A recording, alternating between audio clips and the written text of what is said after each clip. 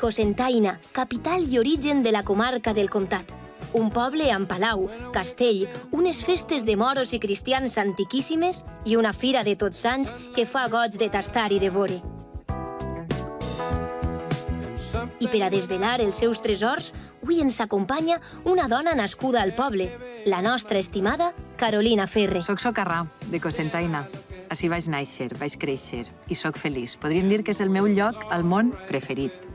És una vall eh, situada en un lloc privilegiat. Està rodejada de muntanyes. És un poble amb molt de contacte amb la serra, amb la, amb la muntanya, amb la natura i amb molta història. Qui coneixeu Cosentaina ja sabeu de què parle, però qui no ho conegueu vos convide a conèixer llocs autèntics i reconeix que no podreu oblidar.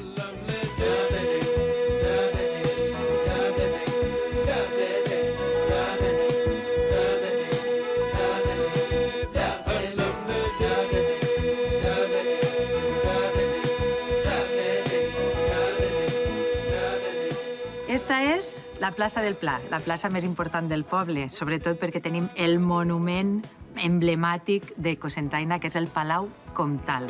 when someone else instead of me always seems to know the way.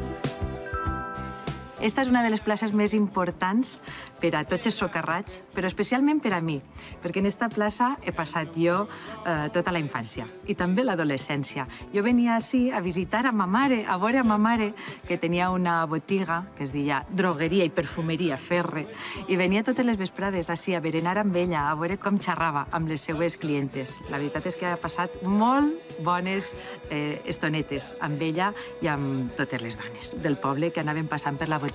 També entrava al palau on estava l'antiga biblioteca i així em passava jo horetes estudiant.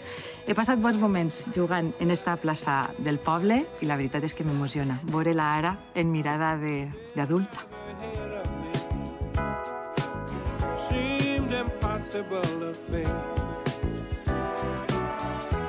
And when someone else instead of me always seems to know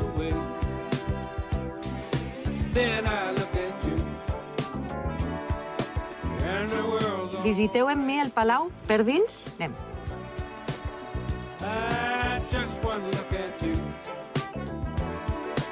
And I know it's gonna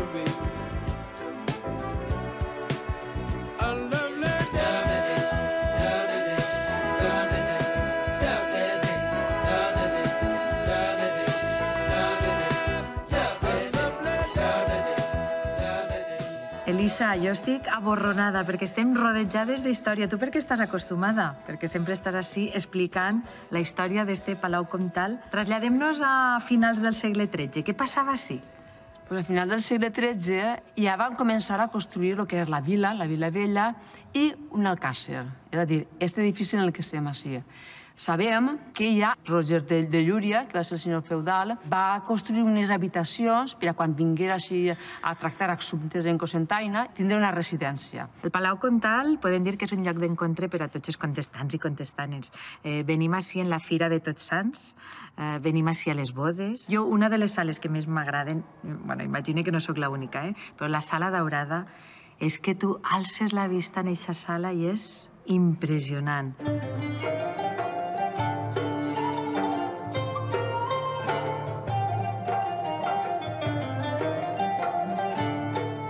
gent es casa en la sala daurada. Imagina't que preciositat casar-te baix aquest sostre tan impressionant. No li falta detall, és, és, és, és magnífica. Sí, sí, estava molt ben eh, executada. Significa la història de la família d'Escorelles, dels primers condes de Cosentaina, que es començarà a principis del segle XVII, i els elements que té són plenament barrocs. Quina meravella, Elisa. És que a dreta, a esquerra, amunt, avall, no pots deixar de mirar la, la, la, història que hi ha. Conta'm en esta sala d'ambaixadors Eh, què feien? Vivien així? Feien festes? Sí, les festes no estarien així. N'hi ha una, una altres sales, que parlem de sales d'actes, que possiblement per les seves dimensions és on farien les celebracions més importants, però sí eren les seves estàncies, feien la seva vida. terra i este sostre són originals? El sostre sí que és original. Això estava molt estropejat, la ceràmica, i sí que és reproducció.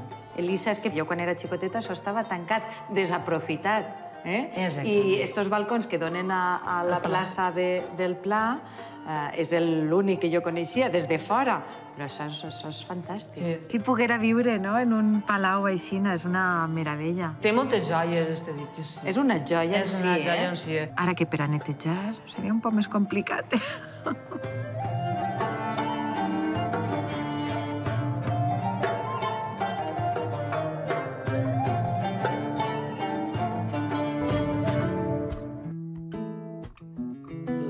és massa, és terra i sang.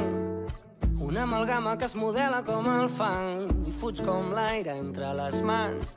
La vida és el que passa mentre fem plans. La vida és dansa, és dia i nit. Una obra mestra en un teatre. Jo, quan vinc al meu poble, no pot faltar que m'emporte... Bueno, me'n vaig carregar, eh? En un cabàs ple d'oli, sobretot bon embotit i bon pa. Ja heu vist que passejant pels carrers de Cosentaina és un poble molt autèntic i amb molta història. Meva i la meva vida ets tu. La vida és així, sempre encara. Més un adéu és un fi. Maribel, com estàs? Molt bé. Bonica. Posa'm eh, lo de sempre, Madalena segur. Tots aquests productes eh, d'este fort tenen un puntet especial i un sabor que el fan molt especial. Per què? Perquè és per la llenya perquè és natural de de veres. És aigua, sal i llevatura. Farina, claro, i punto. I el forn, que és I el més forn. antic que, jo què sé, és dels anomenats moruns, del Sí, sí. segle XV. I encara el conserveu tal Igual, qual. igual, a mi m'agradaria veure'l. Jo ja l'he vist fa mil, però vull tornar-lo a veure. Pues ara. I així no l'ensenyem així al personal. pues ara posem sempre pagadits, si el veureu. és el teu premi. La vida és així. Ai, Maribel, ara que comença el fred, que bé que s'està així, eh? A la caloreta. és molt mal, eh? Quin forn més autèntic, eh? Claro, això és una cosa d'art. Clar, perquè el forn de Borruix es caracteritza per aquest sabor Claro, tan peculiar claro, que té claro. el fer-ho en, en flama. Le posen la llenya, l'encenen a la Sant de Mar, entonces ya está calent. Entonces ya comienzan a pastar y van a hacer el pa. Encara vos duen coques i arrossos pa- al forn per a fer Sí, en sí, este sí, forn, sí, sí, menos, però sí. Ara, quan ve la... Això abans es feia molt, eh? Sí, i ara quan ve la temporada de carabasses és com més, eh? Sí? I boniato, sí, sense parar de torrar. Comença aquí, la vida és així, sempre encara. Que bo el pa, que bo el pa en oli i sal. Però clar, no he vingut jo així al meu poble per oferir-vos només pa en oli i sal. Anem a acompanyar-lo, anem a acompanyar-lo d'un bon embotit, d'ací de Cosentaina. Acompanyeu-me a la carnisseria més antiga del poble. Tot comença aquí, sempre encara. És una roda que no para, aquí. José Luis, què tal? Hola, Carolina. Com estàs? Molt, molt bé, El així que estem. jo només entrar així és que se'm fa la boca aigua. Què m'emporta avui? No, jo sempre que vinc al poble compre sobretot embotits. Jo no puc viure sense els embotits del meu poble. No, no puc. Què Eh, m'emporta? A potroteta, un poquet de Una potroteta. ah, potrato no pot faltar, perquè això només és d'ací, de Això ho Cosentaina. fem així, és molt típic de la zona. Ara tinc sort perquè ara ho envien a domicili. Això és una gran facilitat. El que passa és que a mi m'agrada vindre, veure el producte, saludar a la gent. Fes-me unes talladetes i expliquem què és la potrota, perquè molta gent no ho coneixereu. La potrota és, és car de cerdo, eh, picaetes, sobretot es fa empapar, i van espècies naturals, nosaltres la fem així artesanalment, i du pebre, clau, i res va picaet i després va bullit en caldera. Posa'm unes talladetes i després m'emporta una sencera, que això me dura a mi... Molt no bé. molt, no molt, que en casa som molt golosos. Si està bona, té que durar poquet. això, això, això. També... Ah, perfecte, perfecte. I una sencera, ensenya-me-la, ensenya-me-la, a veure el tamanyet. A veure... Esta que el pareix. Eixa, bona, bona. You only care about your body,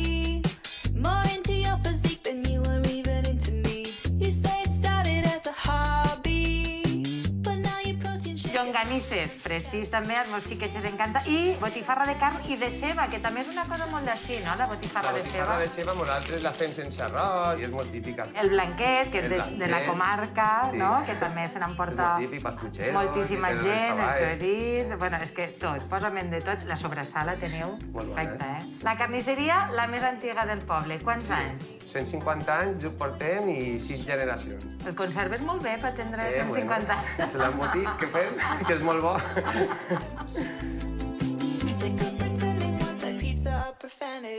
Normalment, quan vaig pels llocs, la gent em coneix, però així és al revés. Així conec jo a tot el món i això m'encanta.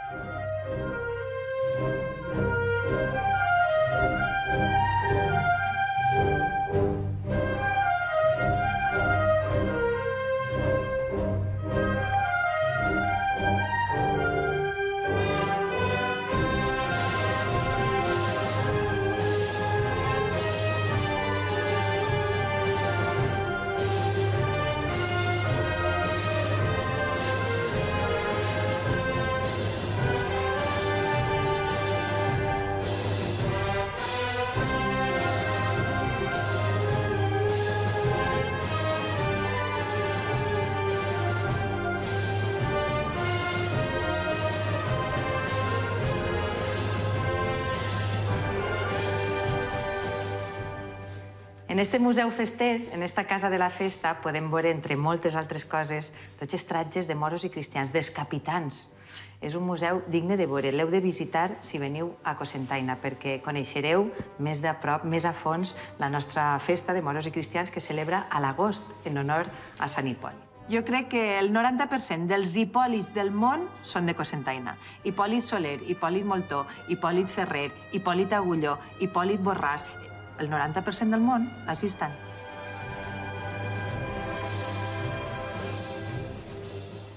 Les festes de moros i cristians per a mi tenen un significat molt íntim, molt especial, perquè me recorde de, de mon pare, de los festers que sempre han sigut a, a casa, de la filà, de lo bé que s'ho han passat entre amics i amigues sempre de juerga en la fila. I ara ja fa molts anys que no isca la festa. I mira, no ho descarte, eh? Ara que estic així m'ha fet goleta.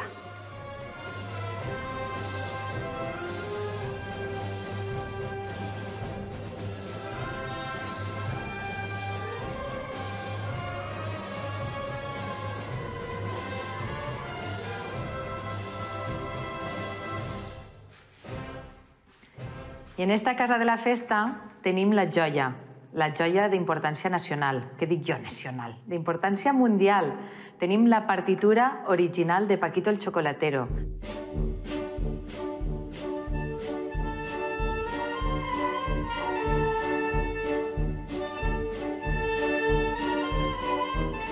Mireu, así la tenim. Paquito el Chocolatero, por Gustavo Pascual. Paso doble valenciano, dedicado a mi cuñado Paquito. Y esta es la guitarra en la cual mm, Gustavo Pascual va composar el paso doble. Però per parlar-vos un poquet més de Paquito i de Gustavo Pascual vaig a presentar-vos a un vell meu.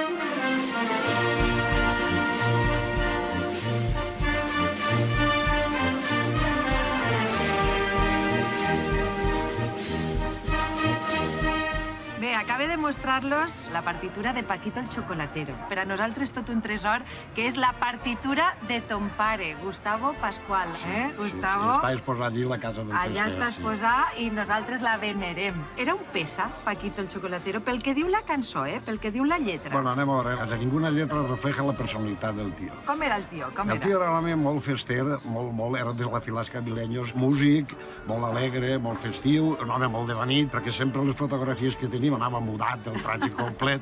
Si era un fester de, de, de, de veres.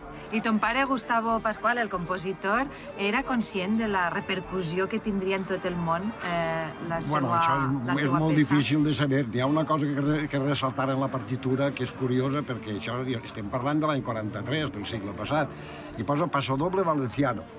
O sigui, que n'hi ha ben poquetes peces, músiques escrites que diguen que són valencianes. La gent no sap que Paquito el Chocolatero era chocolatero de veritat. Churrero! No, Podrien- churrero no, churrero no, no, chocolatero. No, chocolatero. O sea, el abuelo Paco tenía una fábrica de chocolate. Y de ahí es ve el apodo. La tía Paquita la chocolatera, tú te recordarás, ma mare Consolito, i el tio Paquito el chocolatero. Els xurros ja te'ls compraves tu a banda. Això això s'ho ha inventat igual que la lletra, cada un anant posant-li... Calla, que per a inventar-se-ho, el King Africa eixe, eh? Que mal ha fet el nostre passo doble No Paquito el. Chocolatero. No? No, senyora, no fem mal. Tu no ho veus així, no? No.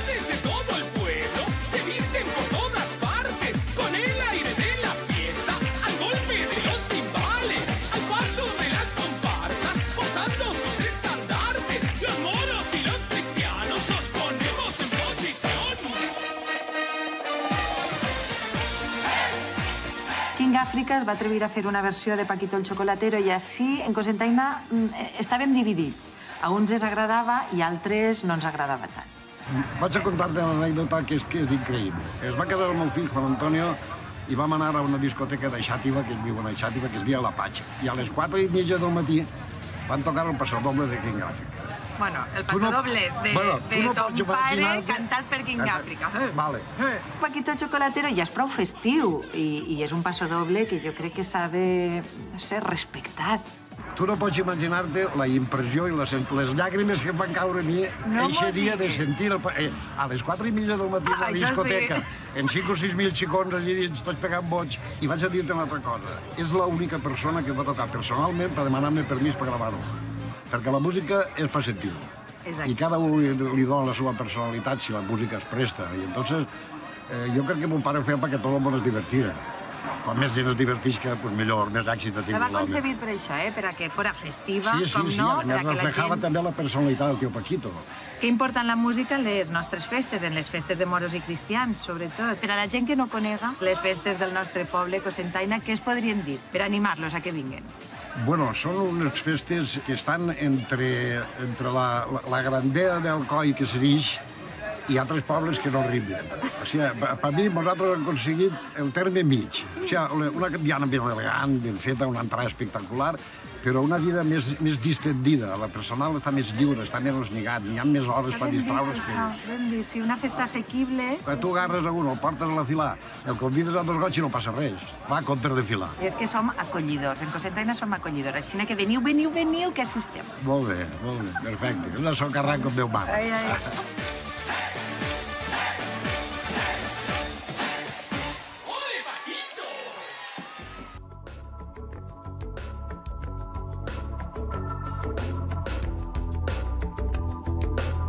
I si passeu pel meu poble, no vos podeu perdre un dels millors restaurants de la comunitat valenciana. Està a la falda del Montcabrer, té dos estrelles Michelin i tres sols Repsol, l'Escaleta.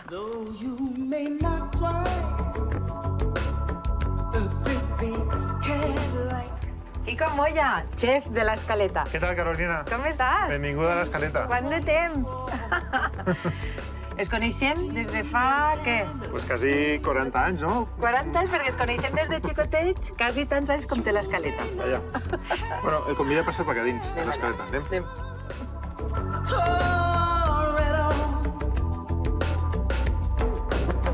But just remember, brothers and sisters, you can still stand tall.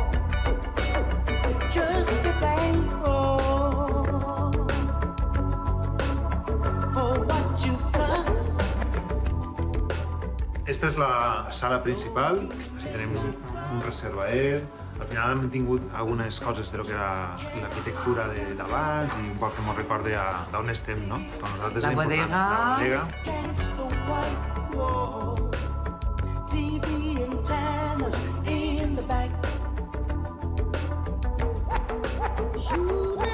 Bueno, la, la joia de la corona. A veure, a veure. Esta taula, així enmig de la cuina, Què et sembla? Quico, espectacular. Bueno, esta, és, esta és la taula zero, taula del xef, que això, la veritat és que cada volta es troba més en moltes cuines. Clar, menjar en un restaurant amb dos estrelles Michelin i no sé quants sols, tres, eh, clar, cada dia no. no? Per a menjar cada dia no, però una vegada a la vida s'ha de tastar. És una taula que la gent pot satisfer la seva curiositat per lo que passa a la cuina, no? d'estar mirant què, què és el que està passant, com ho fem, com s'organitzem. Una vegada a la vida o dos o tres. És un lloc meravellós per inspirar-se i, bueno, passam a explicar tot això que, que, que, que és que m'agenollaria i resaria, sí, perquè és una meravella.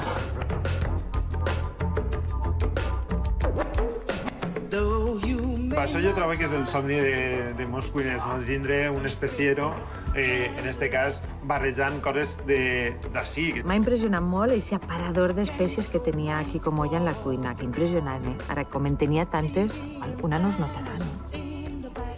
Per exemple la pebrella, no?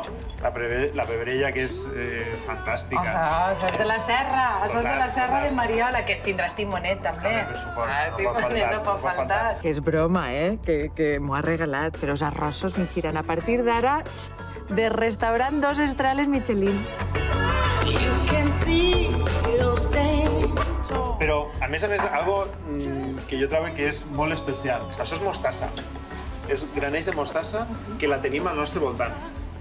I surten en les cunetes, surten els bancals abandonats. No. I nosaltres el que fem és una mostassa natural de la serra de Mariola eh, a partir d'estos granells de mostassa que és realment el que costa trobar. Eh?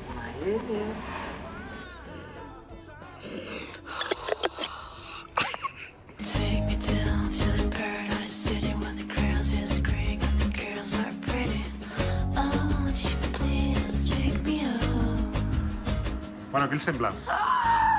Quico, això és un tresor. Bueno. Els primers i últims rovellons de la temporada, perquè s'heu casat tots. Bueno, jo crec que eh, qualsevol que va per boleig i trobar-se la soqueta de, de, la, de la xopada ahí en tots els rovellons, pues és una Els millors rovellons, els de Cosentaina.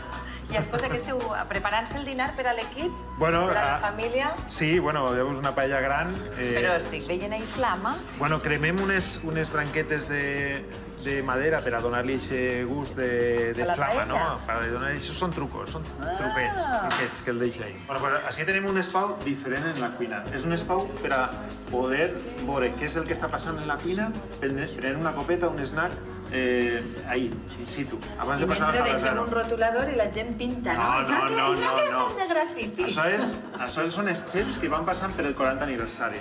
Joan Roca, Martín Berasategui, eh, el meu bon amic eh, Ricard Camarena. Jo crec que els 40 millors cuiners de tota Espanya van a passar per així. Passaran per ací i emplenaran Home, tot este cartell de marbre, eh? Bo, bo, bo.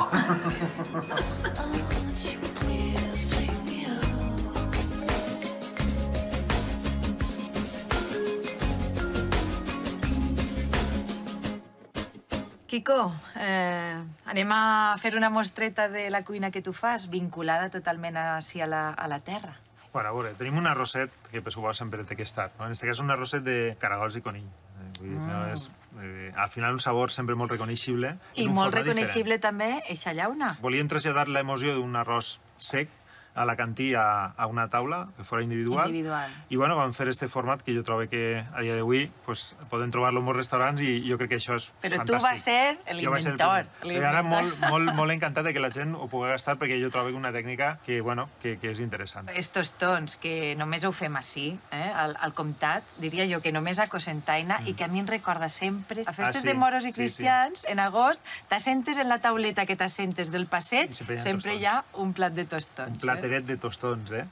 És que tots aquests plats m'han recordat a la meva infantesa. Tot això ho feia ma mare, clar, més, més bàsic, més, més normalet, però un platet de tostons, tu saps això, lo bo que és. Cada estiu un plat de tostons en la taula no podia faltar. Ma mare i fregint, fregint, fregint. Què has incorporat a estos tostons tan de cosentaina? En un viatge de Mèxic van descobrir el huitlacoche. És un fong que està en la daxa, que sempre va acompanyat a, a la daxa. Què és això, eh? Exacte, el huitlacoche. Que és un I- fong que tu... que recollem perquè el- l'agricultor no mos el vol vendre, ell- ells el que volen fer és llevar-ho i el que fem és eh, intercanviar-lo per vi. Mos du cotxe i li donem vi perquè no, no, no vol cobrar-nos res l'home. I tenim bueno, un blanquet, Eh? El blanquet, el blanquet. Clar, qui diria que això és un blanquet? Bueno. Mira quin luxe de, de plat. Bueno, eh, als d'ací ens agrada el blanquet, però a la gent de fora tu creus que també? Sí, és un plat que connecta en la gent d'ací, en la gent de Berlín, en la gent de Londres o Ah, en tot sí? el món. Com és possible que Amb algo... tòfona? Home, Clar, és que això connecta... Bueno, la tòfona ajuda, però la textura real del, del blanquet és el més important. Porta mel, el postre, eh? Que Bueno, no, no és un postre, és un aperitiu, podria Ah, ser un postre, sí? podria ser un postre. És un formatge d'ametla. Així tenim en este plat els tres cultius més importants de, d'ací de, del comtat. Per supost, eh, l'oli d'oliva, per supost, l'ametla i, per supost, la I mel. la mel, que bo, que bo. De tot això fem així, en Cosentaina. Golden, golden, golden as I open my eyes, hold it, focus, hoping to Quina meravella de plats, Quico. Ha sigut espectacular. Els que som del poble ens agrada l'escaleta perquè reconeixem els sabors i els apreciem i els, i els valorem. I els que són de fora els descobreixen i ja no poden passar sense ells. Eh? Quico, a per la tercera, Michelin? Bueno, pues si té que vindre, pues que vinga. Ja nosaltres estem ja preparats.